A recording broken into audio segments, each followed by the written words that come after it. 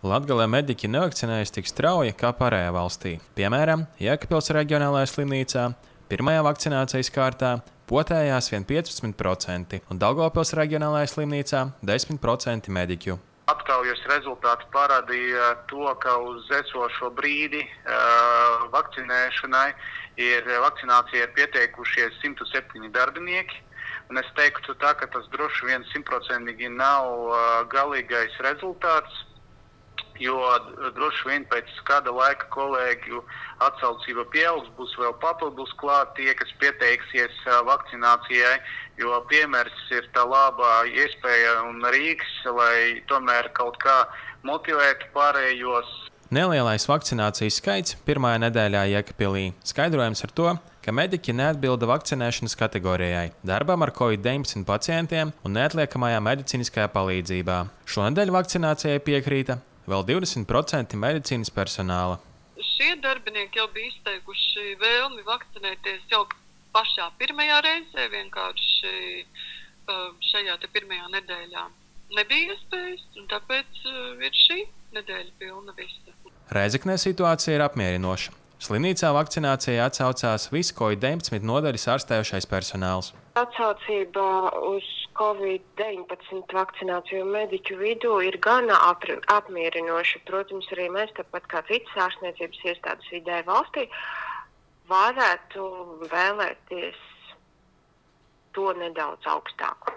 Savukārt slimnīcās, kuram nav reģionālā statusa, Kraslavā un Ludzā, Covid-19 vakcinācija tiks sākta tikai nākamnedēļ. Kraslavas slimnīcā gatavi potēties ap 20% mediķu, bet Ludzā aptuveni 100 cilvēki no 140 medpersonāla darbiniekiem. Kraslavas slimnīca norāda, ka esošajā situācija pote ir ļoti vajadzīga. Tomēr tajā pašā laikā daļa personāla vēl ir pārdomās. Daļa kolēģu domā paskatīties, skatīsies, kā vakcinētie kolēģi jūtīsies. Iespējams, vēl viens iemesls zemai atsaucībai ir informatīvā vide. Tā piemēram, Krievijas valsts mēdījos, kas tiek patērēti Latvijas krievlodīgo iedzīvotāju vidū, Pfizer vakcīna tiek atspoguļota negatīvi.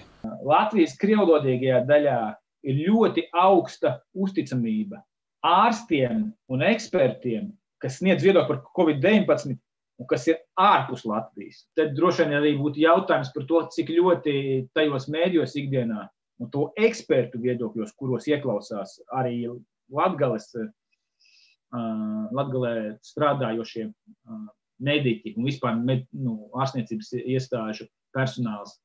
Cik lielā mērā tie nāk un tiek uh, kaut kādos veidos iepludināti šie viedokļi, ekspertu viedokļi caur Krievijas valsts kontrolētajiem mēdījiem.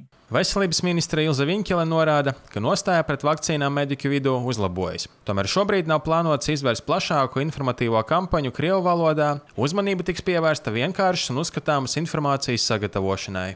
Par informācijas piemērotību un veidu, kādā tā tiek tiek pasniegta, jā, tur valdībai kopumā ir mājas darbs darāms, un šeit es pat nerunātu par valodām, bet gan par veidu, cik uzskatāmi, cik vienkārši un ar kādiem akcentiem šī informācija tiek gatavota.